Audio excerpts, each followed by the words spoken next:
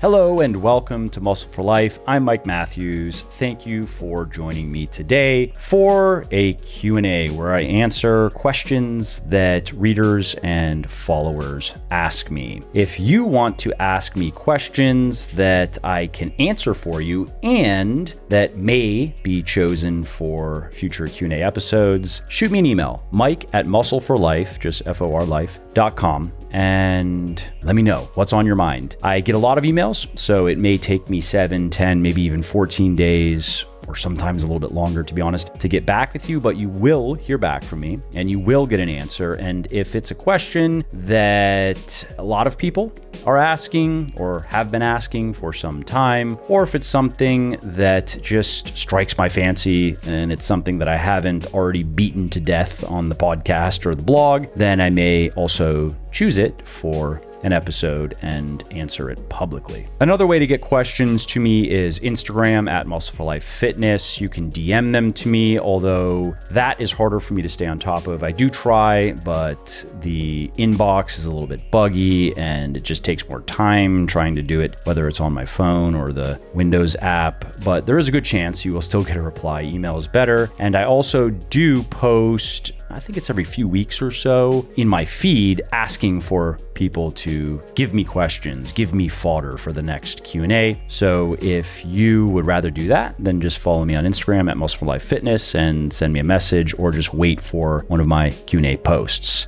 So, in this episode, I'm going to answer three questions. The first one comes from CG Burkhead over on Instagram, and he or she asks Are there any prehab routines or programming you would recommend prior to starting a weight training program? And the next question comes from Man O Salva Daniel over on Instagram, and he asks When cutting with limited time, would I do five days a week of weightlifting and one HIIT session per week, uh, one HIIT cardio session, or four days of lifting and two cardio sessions, and particularly two HIIT sessions. And then the third and final question I'll answer in this episode comes from Jaden Brown 420. That handle sounds familiar. I think I've taken a question before from from this person. So if so, um, here's another question from Jaden Brown 420. I remember making a joke about the 420. That's what's uh, coming to mind. Anyway, asking for a friend. Sure, sure. What's wrong with taking a cycle or two of steroids and then cutting them out cold turkey? Would the loss of testosterone after quitting negate all your gains made during your cycle? Would such a short period have bad side effects if you took safer steroids like Anavar or testosterone? Again, Again, I would personally never.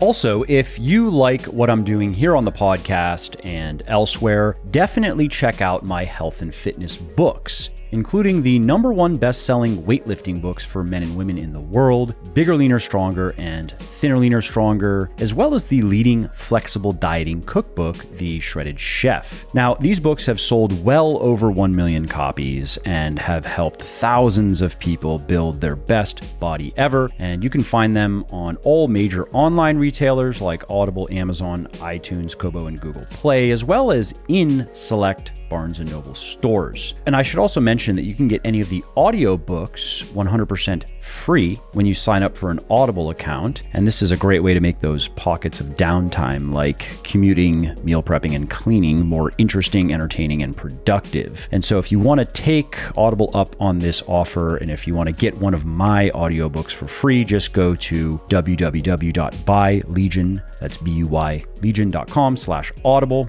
and sign up for your account. So again, if you appreciate my work and if you want to see more of it, and if you want to learn time proven and evidence based strategies for losing fat, building muscle, and getting healthy, and strategies that work for anyone and everyone, regardless of age or circumstances, please do consider picking up one of my best selling books Bigger, Leaner, Stronger for Men. Thinner, Leaner, Stronger for women, and the Shredded Chef for my favorite fitness friendly recipes.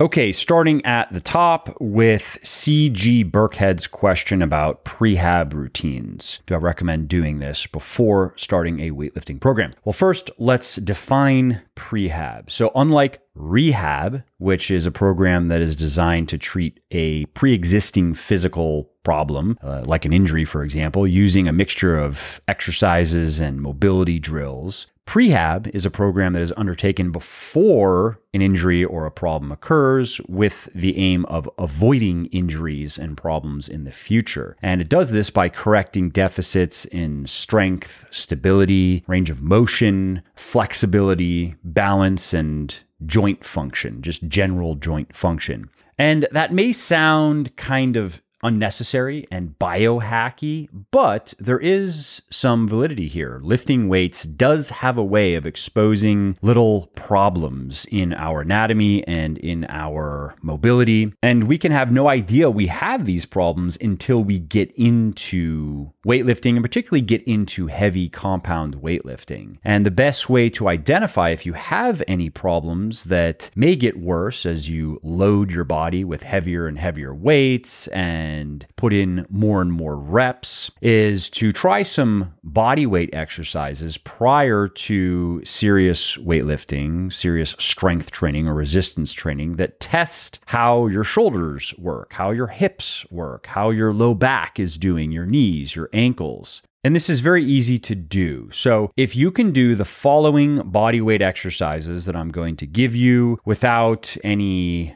pains or without any restrictions, then you're good to go. So, press ups, and you can do modified press ups if necessary, and do press ups at different angles like incline, standard, decline, wall angels, body weight squat, body weight lunges, planks, side planks, glute bridges, bird dogs, and body weight back extensions. And if you're not familiar with some of those, just look them up online. Now, if you work through those movements and you find that you do have discomfort with some of them in certain positions, you can't move comfortably through a full range of motion in each of the exercises, then you can benefit from some prehab work. You can benefit from working on the problem. For most people, it's going to be lack of flexibility or lack of mobility. They are not going to be able to move through a full range of motion at all. They're just going to be stuck at a certain point because, for example, they have very tight ankles or they have very tight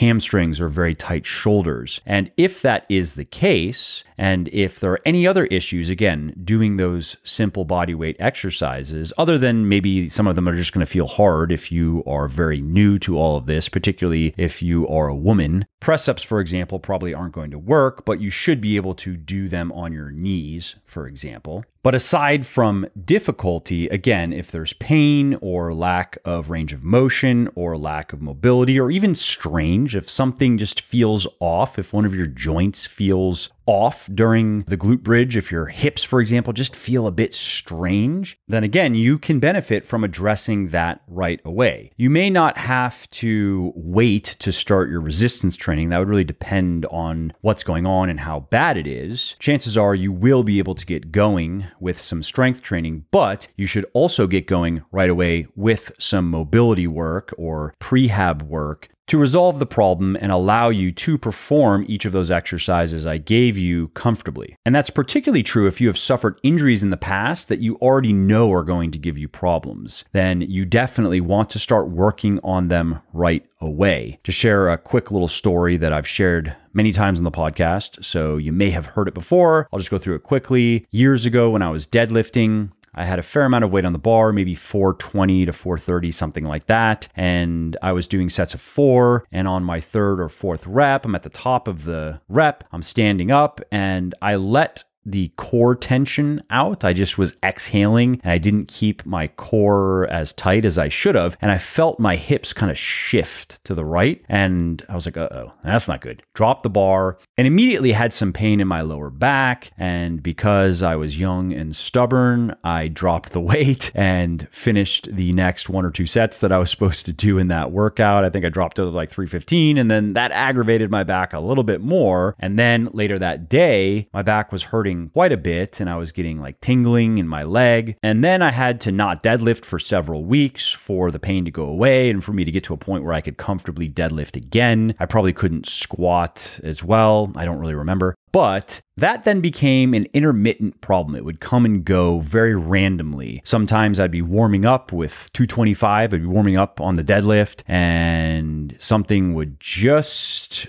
tweak in my lower back. At least that's how it felt. It turns out it was my SI joint, but I was feeling it in my lower back. And I wouldn't be able to deadlift for a week or two. And sometimes it was squatting. And it was usually not with heavy weight, ironically. It was usually during my warm up sets, my heavier warm up sets, like 70% of my working weight, but not even during my hard sets, my working sets. So sometimes I'd be squatting and something would just tweak down there. It would get aggravated again, and then I couldn't squat for a couple of weeks, and sometimes it was actually painful to walk. And after a couple of rounds of this, with several months in between each, I was like, okay, I need to actually look into fixing whatever is wrong here. Because initially I was like, uh, that's not good. And then it went away. And I was like, okay, fine. And then it came back and then it went away for several months and then came back. And then I decided to take it a bit more seriously. And what I found out is there is a connection between lack of internal rotation and SI joint dysfunction. And lo and behold, the internal rotation on my left side, which is where I hurt myself, was really bad. My internal rotation on my right side, totally fine. External, bad. And then on my left side of my body, uh, left side of my hips, I had the opposite going on. I had really good external rotation and really poor internal rotation. So I started to do some simple stretches to improve the internal rotation on the left side of my body and the left side of my hips. And I continued lifting. And I don't remember if I aggravated the injury during that period, but I didn't stop lifting. I just kept doing my thing and slowly just started improving the internal rotation on the left side of my body. And it took probably about three or four months of doing stretches every day for my internal rotation to be balanced or close to balanced on both sides of my hips. And once I achieved that, that was years ago now, I have not had a single flare up since. And now I know that if I would have addressed that sooner, there's a chance I wouldn't have gotten hurt in the first place. Like, yes, it was a mistake to release the tension in my core muscles, but if I wasn't already predisposed to SI joint problems because of this lack of internal rotation, it may not have led to the injury. And you know, now that I'm saying that, I realize that I should add one more little stretch. It's not an exercise, it's just a stretch to the diagnostic list. Sloppy, sloppy. And that is the 90 90 stretch you should be able to do that comfortably on both sides of your body. You should be able to get your hips into internal and external rotation, both on the left and right sides of your body with good range of motion and no major discomfort. Now, if you are somebody who has not sustained any major injuries and you are able to do all of the body weight exercises and the stretch that I have talked about, and if there are no problems, then you probably don't need to be spending any time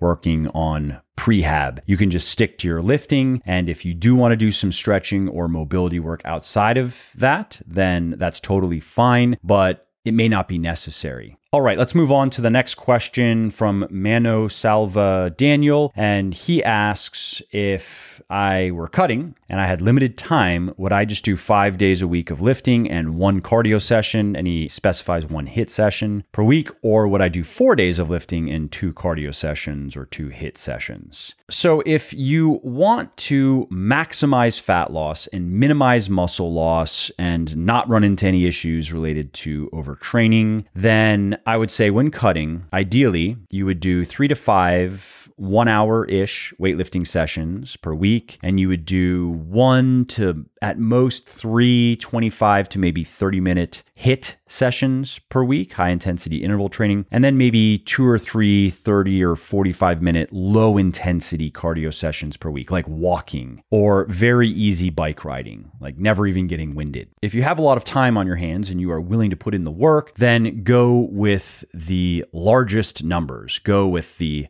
five weightlifting sessions per week, the three HIIT cardio sessions per week, and three low intensity intensity cardio sessions per week. And if you combine that with an aggressive but not reckless calorie deficit of around 20%, it might need to be a bit less if you are lean, looking to get very lean. And it can be a bit larger than that if you are let's say 15% body fat and above, certainly 20% body fat and above in men and 25 to 30% and above in women. So if you do that and if you eat enough protein and you make sure that you are getting enough sleep and you are eating enough carbs to satisfy you and to fuel your training and following the basic principles of flexible dieting where you're getting most of your calories from nutritious foods, if you do all of that, you're going to lose fat quickly, you're going to have good workouts, you are generally going to feel good, you're going to have energy you're going to be in a good mood. You are not going to deal with hunger or cravings all that much. You might have it a little bit here and there. And you are not going to lose any muscle to speak of, or probably any strength really to speak of. Now, if you don't have that much time, or you just don't want to spend that much time cutting, that's totally fine. You can do very well with less exercise, even a lot less exercise. But we have to now modify things to make sure we are prioritizing the right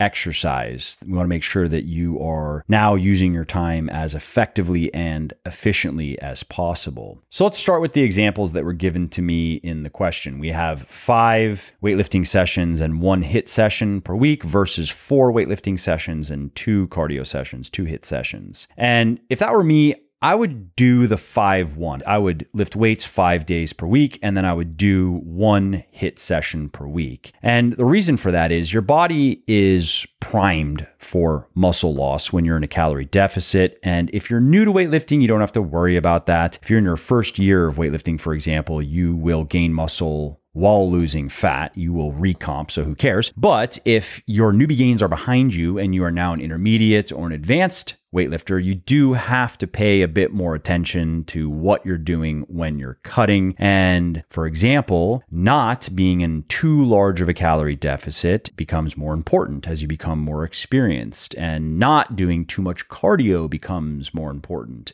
And continuing to intensely train and intensely challenge your muscles with heavy weights and adequate volume also becomes very important for retaining muscle and strength. In fact, that is one of the best ways to maintain or even gain muscle and strength when you're in a calorie deficit, if that is still an option for you. Again, if you're a guy and you've already gained your first 20 to 25 pounds of muscle, or if you are a gal who has gained her first 10 to maybe 15 pounds of muscle, you are almost certainly not going going to be able to gain any muscle or strength to speak of when you're cutting, but you certainly can not lose it. You can retain more or less all of the muscle and strength that you have going into a cut. And so then when you finish your cut and you're able to eat more food, not only do you look great, but you also don't have a lot of lost ground to make up in terms of regaining muscle and strength that you lost while cutting. Now, the question is how much weightlifting you need to do when you're cutting to optimize muscle and strength retention. And as far as I know, there isn't a clear cut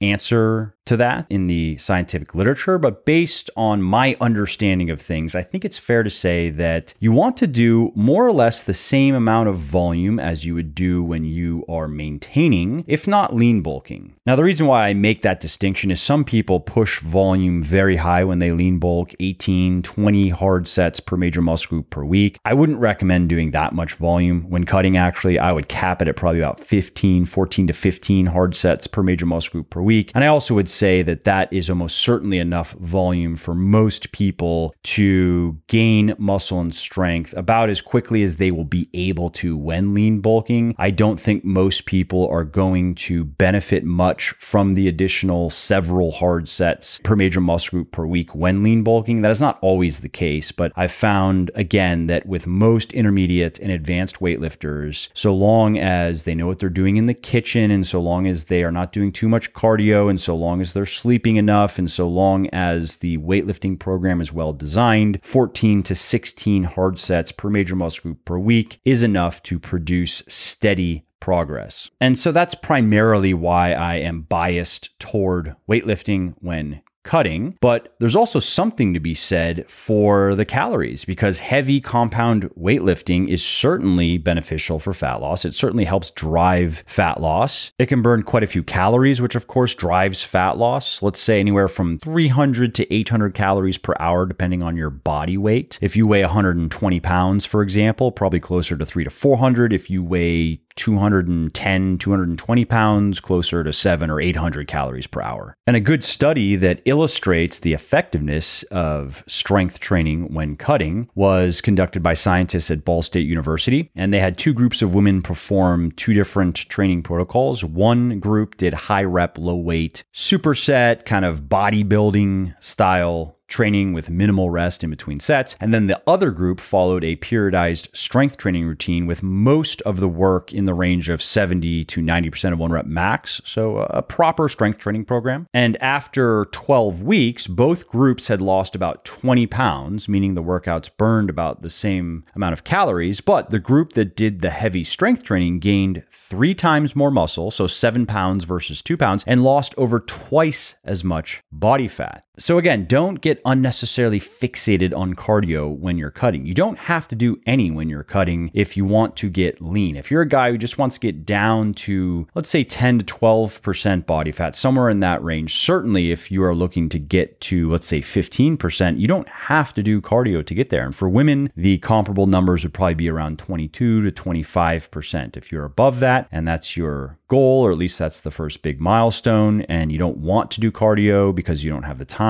or you just don't feel like it, that's totally fine. You are going to do well with just strength training. That said, I would challenge you to fit in some walking if you can, because it is such an easy way to increase energy expenditure without having to go to the gym or hop on the treadmill or the exercise bike. And it is very easy to work into the workday these days now that most of us are working from home. So if you have periods where you need to make calls, for example, you can just get outside and go for a walk. Or maybe when you are listening to a podcast or a lecture or an audiobook, make it a 15 or 20 minute walk. Also, if you can, try to make it a walk in nature where you see pretty trees and flowers and plants and animals because it's going to make you feel better. It's one of those things that we don't need science to tell us that. We can just go do it and experience it firsthand, but research does back that up. And as far as calorie burning goes, walking burns a couple of hundred calories per hour, 300 calories or so per hour, depending on how fast you're walking and how much you weigh. And that's no HIIT, of course. I mean, you can burn a couple hundred calories in 10 minutes of HIIT, but HIIT is a lot more difficult. It requires more effort, obviously. It is more strenuous. It impacts the body more, whereas walking has basically no impact on post strength training workout recovery. Now, if you can't fit long walks into your schedule, if that's just not practical, think with maybe just walking more one way or another. Look at your everyday routine and see if there are things you can do differently that would have you walking more, like maybe taking the stairs instead of the elevator or the escalator, maybe walking short distances instead of driving, or even parking further away than normal when you're running errands, for example, from the entrance to the store, or maybe you're commuting to your office with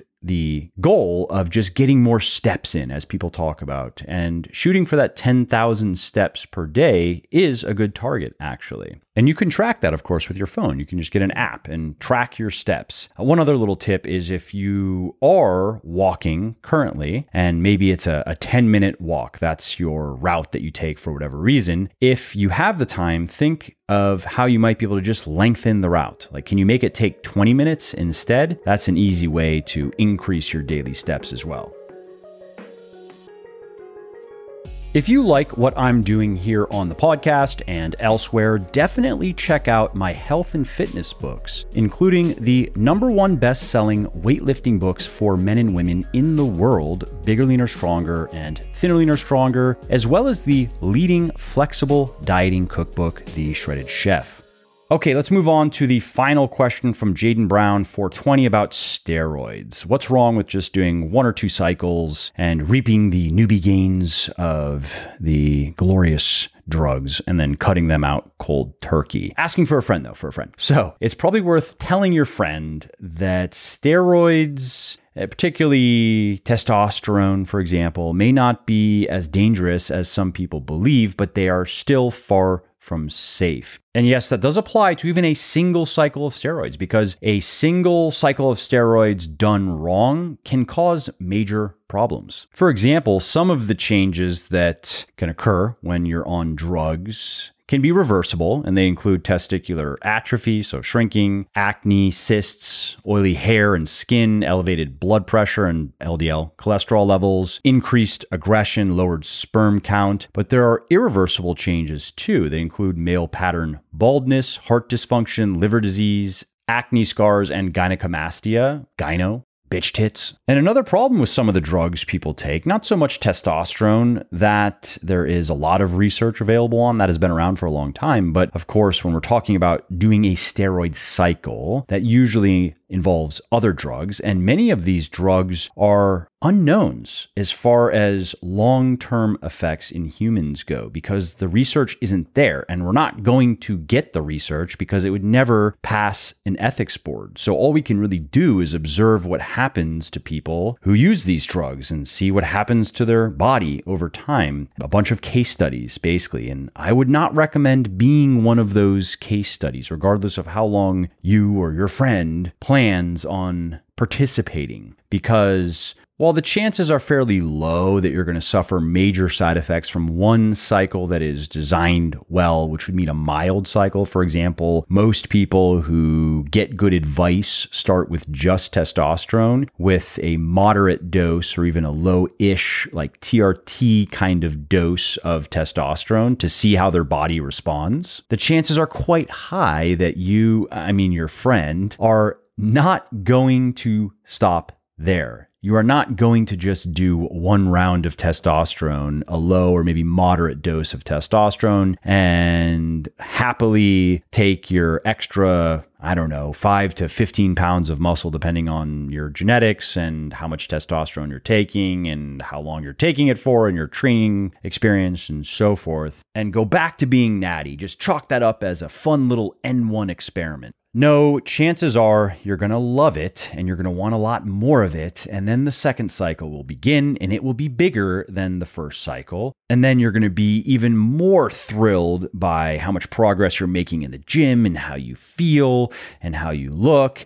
And you're going to want even more and there's more to be had. There's always more drugs to be had. And this is why, for example, one study found that 30% of steroid users who participated in the study had developed a dependence syndrome. And if you speak to enough people who are honest about their drug use, they will tell you about the addictive properties of the drugs, and particularly the psychological addiction, how much better they feel when they are on drugs, how they feel just invincible, basically. They always have energy, focus, drive, don't need to sleep as much. I mean, if I had a nickel for every time I've heard a long term steroid user say that he started with the intention of just doing one cycle, just to see what it's like, and well, here he is today, 15 years in. Well, I would be making money in a very strange way. Too many of these people told themselves that they would try it out just to get a little bit ahead, kickstart their gains, and then they found themselves on the bike for the long haul. Now, I think it's also worth directly addressing a myth here, which is that you can do a cycle or two of steroids and dramatically increase your muscularity and your strength, and then you can just taper off, maybe with a good post cycle therapy protocol and you're going to maintain your newfound gains. And the idea then is you can condense maybe like three years of training into one year or even six months with the right drugs. And then you can go back to being natty. And now you are maybe a year or two from your genetic potential. That is not true. Most of the muscle and strength that you are going to gain on steroids will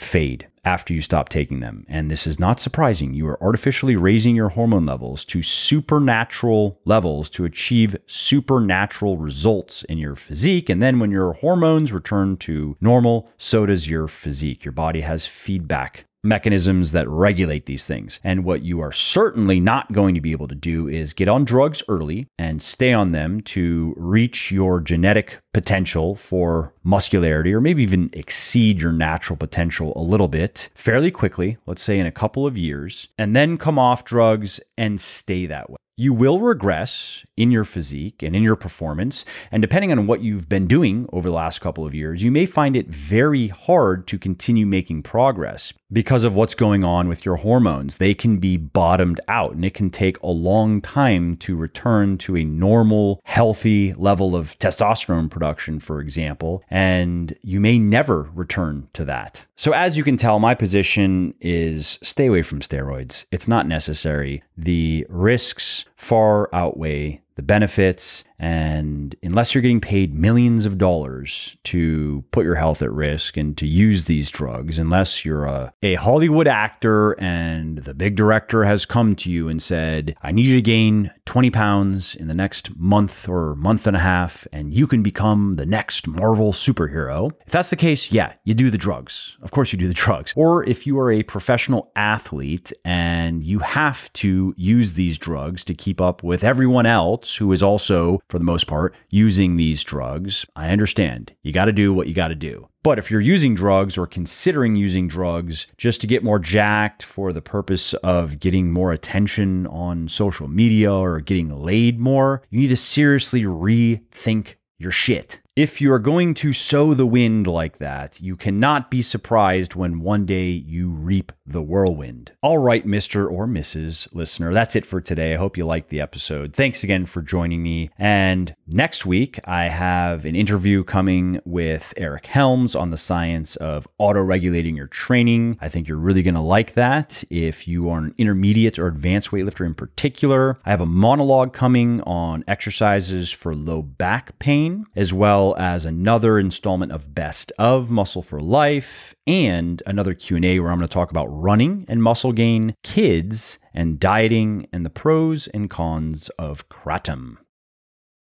All right, well, that's it for this episode. I hope you enjoyed it and found it interesting and helpful. And if you did, and you don't mind doing me a favor, please do leave a quick review on iTunes or wherever you're listening to me from, in whichever app you're listening to me in, because that not only convinces people that they should check out the show, it also increases search visibility, and thus it helps more people find their way to me and learn how to get fitter, leaner, stronger, healthier, and happier as well. And of course, if you want to be notified when the next episode goes live, then simply subscribe to the podcast and you won't miss out on any new stuff. And if you didn't like something about the show, please do shoot me an email at mike at muscleforlife.com, just muscle, F O R, life.com, and share your thoughts on how I can do this better. I read everything myself and I'm always looking for constructive feedback, even if it is criticism.